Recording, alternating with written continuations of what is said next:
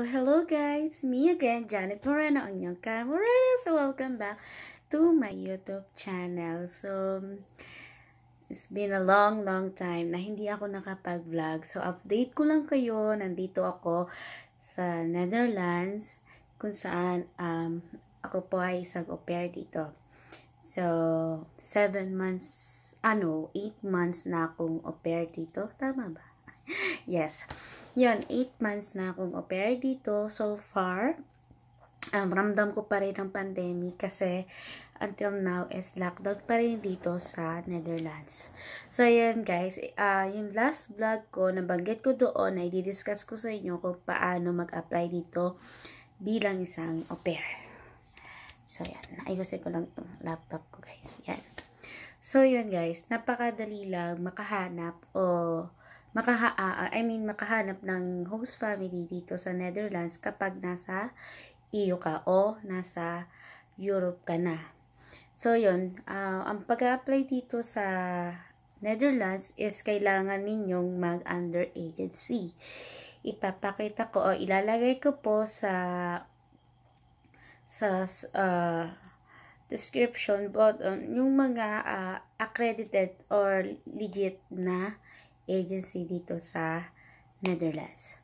So, yun. Kapag naman ikaw ay nasa um, nasa Pilipinas, meron naman po tayong, kahit ngayon pandemic, meron pa rin tayong uh, agency na kumukuha direct from Philippines at ilalagay ko rin po yung mga nag yung mga uh, gustong mag-au-pair na nasa Pilipinas para maging guide ninyo or saan kayo po pwedeng mag-registered.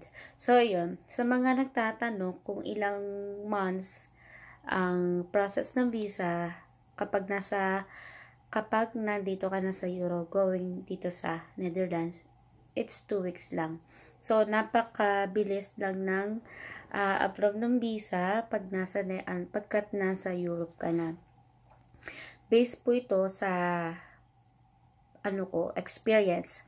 So, yun, two weeks lang ako naghintay. Kasi nung time na yun is, iba talaga yung target ko. Nun, uh, last year kasi, I know, 2019 until 2020 is nasa Sweden ako. Pero ako sa Sweden, and nung time na yun is nabutan na ako ng pandemic. So, nahirapan ako kasi iba talaga yung, iba talaga yung plan ko. Hindi talaga pumunta dito. So, yun. Um, naiba yung plan ko. I think is 3 months na lang bago end yung visa ko. So, nag-rush ako nun. So, naghanap agad ako ng prospective na host family. And, within, ah, after ko mag-register doon sa I know pala guys, sorry. Hindi pala ako nag-register doon sa agency na yun. Bali, nirecommend lang ako ng isang au pair na, na nandito na dahil uh, that time na naghahanap siya ng kapalit. So, nakila, uh, nakita, uh, nakita niya ako, yung post ko mismo is doon sa Facebook page. So, yon Sa mga gusto pair, malaki ring tulong sa inyo para mag-guide kayo at magkaroon kayo ng idea is meron po tayong mga pair page sa FB. So, makikita nyo po yon Nandiyan yung uh, au pair in the uh, uh, you, uh, pair in Europe. Meron po. And Basta search nyo lang yung salitang au pair or AU, then P-A-I-R. Marami na pong lalabas. lalabas. So, yun, i-search nyo lang yun sa FB. Marami na kayo makikita ang page. Um, make it sure na hindi scam yung mapupuntahan ninyo. Legit na page. So, marami pa rin kasi guys ngayon na ginag, uh, nagkikreate ng page pero hindi naman legit. Tapos, namemera lang ng mga ng mga Filipino pair. No, lalo na kapag galing nasa Pilipinas pa. So yun guys, pwede kayo doon mag-post, mag gumawa ng profile and then i-post ninyo. May mga host family na naghahanap din through Facebook. Then yun. So yun nga, um natagpuan niya ako sa yung dating pair dito is natagpuan niya ako sa FB Nung nag-post ako ng profile, then nirecommend niya ako sa host niya. And yon So, nagkausap kami ng host nun. After that, is after 2 weeks yun, na-approve na yung visa. Meron na ako approval na pumunta dito na pumunta na dito sa Netherlands.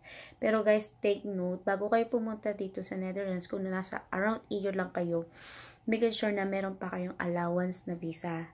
Kasi yung natitira yung allowance na visa, yun yung kung bakit mabilis bakit 2 weeks lang approve na kasi yung ibang yung mga ibang yung kailangan gawin requirements um, for biometrics gagawin nyo kasi yun dito guys hindi halimbawa ako nasa Sweden hindi ko siya gagawin sa Sweden kundi gagawin ko siya dito mismo dito rin is mag-apply kayo uh, magre-register kayo sa municipal ng Netherlands na nandito na kayo and you are applying for au pair sa ganitong family. Sobrang dali lang guys. I think it's it took like one week lang namin ginawa lahat ng requirements na yon Then nag-antay na lang ako for the uh, pink card. So yun lang. Ganun lang kadali guys talaga.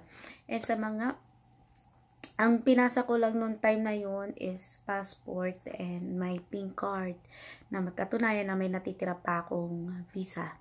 So, mas, mas, mas worse guys kung pupunta kayo dito na wala na kayong visa. So, or extended visa lang yung hawak ninyo. So, mostly hindi natanggap yung mga ibang family. So, yun. So, yung age limits, limit is um, 18 to 30 years old uh, yun, 18 to 30 years old. Then, meron tayong mga, nabanggit ko na sa inyo, accredited na agency. Kasi, if you like it or not, kailangan ninyo mag-under agency. Pero don't worry, hindi kayo ang problema dyan, kundi ang host family ninyo. Sila mismo yung maghanap ng uh, agency for you. Or meron naman sila ng agency. Tapos, ire-recommend na lang kayo. So, ganun lang yun, guys. And, sa so, mga taga Pilipinas, um, ayun, may mga host family pa rin na kumukuha direct from Philippines and through this agency. Yan, i, i, i-write ko po dyan sa description ko kung anong agency yung pwede ninyong applyan. So, yun guys, and I hope na Marami kayong natutunan sa aking uh, sa aking uh, vlog. Marami nawa ko na tulungan kasi maraming uh, inspiring au pair na talagang gusto makarating dito sa Europa. Syempre kahit sino, ba?